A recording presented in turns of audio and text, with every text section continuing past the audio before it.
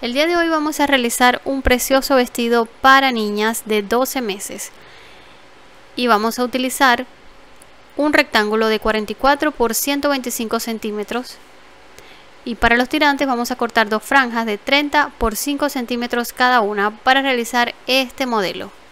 Este modelo lleva en la pechera, en la parte superior, hilo elástico. Acá tenemos este hilo elástico, el cual vamos a utilizar. Este y vamos a ubicarlo en la parte de la canilla o del carrete. Vamos a irlo colocando suavemente sin estirar en la parte inferior. Y en la parte superior de la máquina le vamos a colocar hilo normal.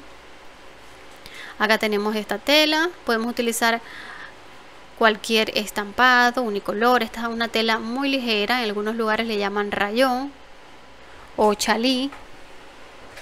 Esta tela es ligera y muy fácil de trabajarla a la hora de colocarle el hilo elástico. Vamos a realizarle overlock por todo el contorno. También tenemos por acá las dos franjas para los tirantes y las medidas se encuentran en el patrón. Al final también vamos a ver con detenimiento el patrón. Vamos a realizar esa costura por todo el contorno con overlock. Lista la costura por toda esta franja. Vamos a realizar esa costura.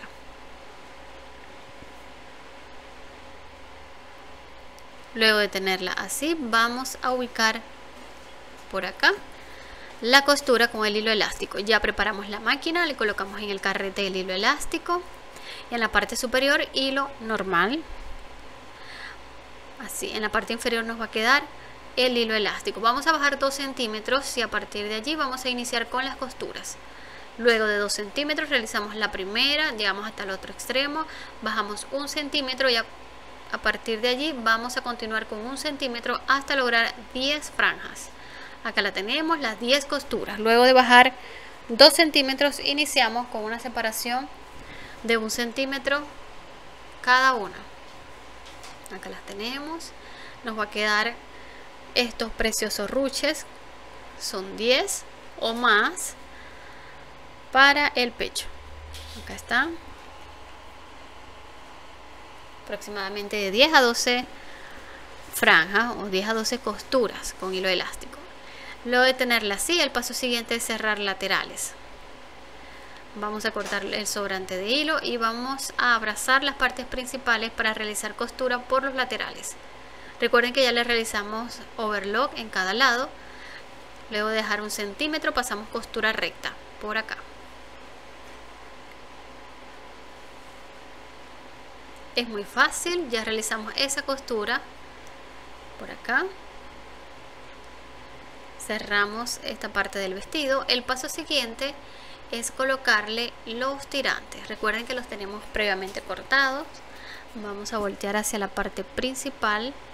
Miren qué bonito qué fresco. El hilo elástico nos permite obtener un ajuste suave. No va a quedar apretado. Muy cómodo este vestido para las niñas. Vamos a dejar la costura la única costura hacia la parte trasera. Vamos a ubicar la cuarta parte la mitad de la mitad de cada lado y por allí vamos a colocar el tirante. Acá lo tenemos. Para realizar el tirante vamos a doblar un centímetro de cada lado tipo bies.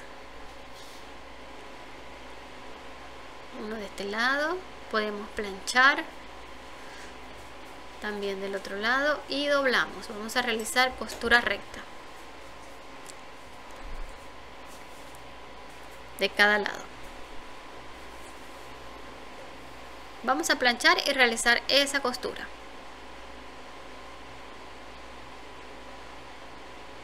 Muy bien hemos realizado las costuras. Realizamos dos costuras para fijar estos tirantes y vamos a ubicarlo en la parte superior, recuerden la cuarta parte en ambos lados, la mitad de la mitad. Primeramente ubicamos la mitad, luego de tener la división vamos a colocar en la mitad de este lado por acá, doblamos a la mitad el tirante, así, y vamos a colocar una parte bajando aproximadamente 2 centímetros. Fijamos la parte delantera. Vamos a colocar un alfiler para evitar que se nos mueva también en la parte trasera. Nos puedes indicar desde qué ciudad nos estás viendo para enviarte un saludo cariñoso. Es ideal para realizar este diseño tela ligera, rígida, que sea muy fina como esta, rayón o chalí, muy fina. También hay otros tipos de tela que son muy ligeras para que nos permitan que el hilo elástico pueda ruchar de esta manera tan bonita. Si la tela es muy gruesa, se nos va a complicar un poco obtener estos ruches. Lo ideal es tela ligera, fina, stretch. Guiándonos de estas medidas vamos a obtener este precioso diseño para niñas de 12 a 18 meses. Muy bien, hemos realizado la costura fijando estos tirantes. Para el ruedo vamos a doblar 2 centímetros y pasamos costura recta de 2 centímetros o 1 centímetro y medio. Muy bien, ya realizamos la costura de ambos tirantes. Realizamos dos costuras.